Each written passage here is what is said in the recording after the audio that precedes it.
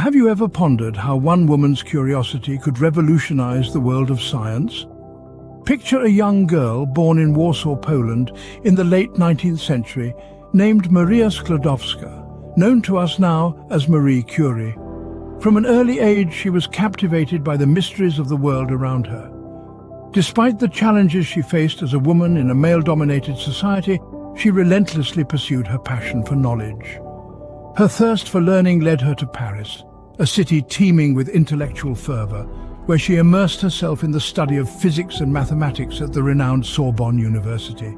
It was there she met Pierre Curie, a man whose love for science mirrored her own. Their union was not just of hearts, but of minds, sparking a partnership that would illuminate the shadows of the scientific world. Marie Curie's journey had just begun, setting the stage for groundbreaking discoveries that would forever change our understanding of the world. What does it take to be the first woman to win a Nobel Prize? Not just once, but twice? It takes a brilliant mind, a fiery spirit and an unquenchable thirst for knowledge, all of which Marie Curie had in abundance. She discovered two radioactive elements, polonium and radium, forever altering the course of science. Her pioneering work in radioactivity illuminated the unseen, and her relentless pursuit of truth broke barriers in a field dominated by men. Her monumental contributions were recognized when she became the first woman to receive a Nobel Prize, and she didn't stop there. She went on to win a second Nobel Prize, a feat achieved by only a handful of laureates. This was not just a personal victory, but a victory for women in science, for the underdogs, and for all those who dare to dream big.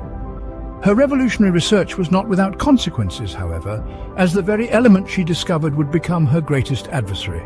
But at what cost does such groundbreaking discovery come? We must remember that Marie Curie's dedication to her research was not without personal sacrifice. Her prolonged exposure to radiation led to a myriad of health issues, including cataracts and a blood disorder, that eventually claimed her life. Yet despite these personal costs, the legacy of Curie's work is immeasurable. Her research has been instrumental in shaping modern science as we know it. In medicine, her discoveries have led to the development of radiotherapy, a common treatment for cancer. In the realm of energy, her work paved the way for the creation of nuclear power plants.